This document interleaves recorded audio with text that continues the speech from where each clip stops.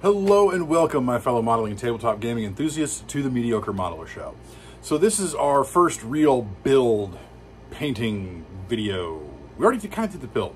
So this is our first painting video for my uh, mildly converted uh, Marine M4 Sherman in the Pacific for bolt action and conflict 47 so as you're already aware if you followed the previous uh, you've seen the first video we're using the warlord games m4 sherman kit is our base with a few little aftermarket accessories as well as a little bit of scratch building. So this first video is focused, it, it's kind of short, so I apologize if you're looking for a longer video. So this might end up being just kind of like a bonus video, but this is part two. And we're going to focus um, specifically on, oops, I dropped it, uh, painting the camo pattern for the sort of impromptu applique ad hoc wooden armor that was applied to the sides of of many Shermans in the Pacific Theater and in the European Theater as well. So without any further ado, I'll go ahead and I'll kick that off to that part and you guys can uh, get a little bit more background on that, see what colors I'm using, watch the process in um, super fast time. I did record it on time lapse just to save a little bit of, of time. And uh, yeah, so I hope you, uh, hope you all enjoy. So the very first step I'm going to do on paint work is I'm going to do the camo scheme on my improvised wooden armor. You can see I've already primed it and given a quick uh, pre-shade with some white. I'm going to see if you can, I mean, you can see the wood texture comes through pretty well on that. Um, if you watched part one, you remember I mentioned that, and you can see it again here on the backside pretty well. A little spot where I had it mounted to a cork. We'll get that covered, no worries. But you can see just how well that wood texture comes through even under a coat of primer. So I'm to use three different colors to do this. I'm going to use, of course, all being ammo by MIG. We're going to use desert yellow. Going to use red earth and dark green. And I got these from, well, I bought these individually, but there's a MIG paint set for Pacific Shermans out there that you can buy that comes with, I think, six paints. So I just picked the three that I thought I would need because I think these are going to be the only camo parts that I'm going to do on the tank. The rest of it I'm just going to do in my regular OD green scheme. But I want to have a little bit of color, just kind of liven things up a little bit. Um, and there are also examples of Shermans that have sort of this improvised wooden armor on the running gear. I decided not to do that, but so we're going to have these. So we're going to head on over to the spray booth and we'll start getting these camo colors applied.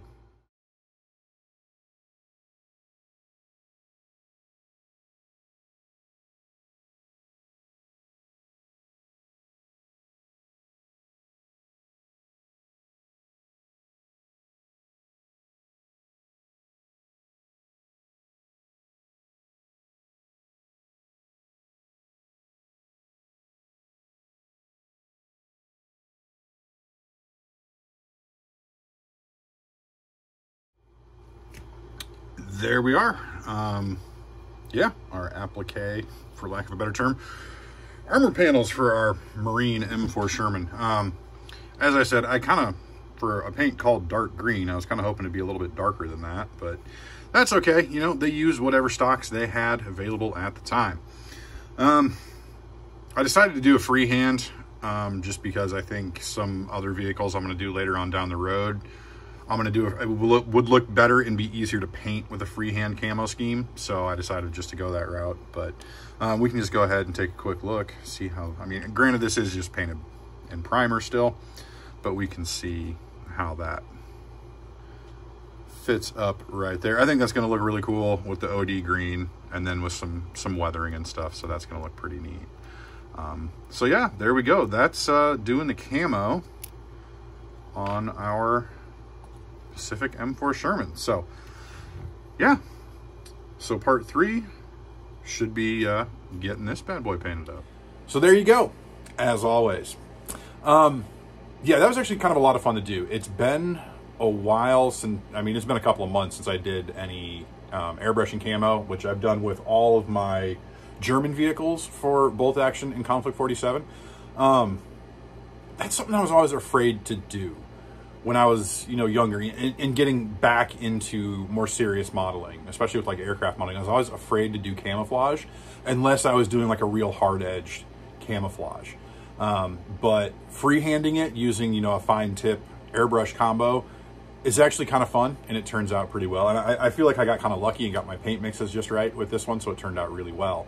Um, but it's actually starting to turn into a lot of fun, especially with the with the German three tone camo that I've kind of modified to fit my scheme a little bit. It's not exactly perfect, but it's still, you know, it looks pretty good and it's fun to do. Um, I don't remember if I mentioned it, but I did use my Harder and Steenbeck Infinity. I was using a 0.15 needle and nozzle combination. And I know I did mention the reason I decided to do it freehand like that instead of masking um, and getting a hard edge camo, because it would have been real easy to mask it on um, some pieces like this. But I have some other models for the Marines that I want to do in camouflage. And I want it, it would be a lot more difficult to mask a hard edge on those. So um, I'm going to do, do that freehand as well. But we'll, uh, not just yet, not just yet, but yeah. So that was, uh, so part two. Um, the next one is going to be painting the tank itself, um, which is pretty easy.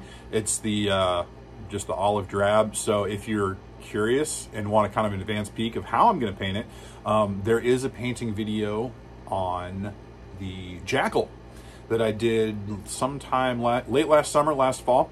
You should be able to find that, and you can see how I paint, um, you know, olive drab vehicles for U.S. Army, U.S. Marine Corps.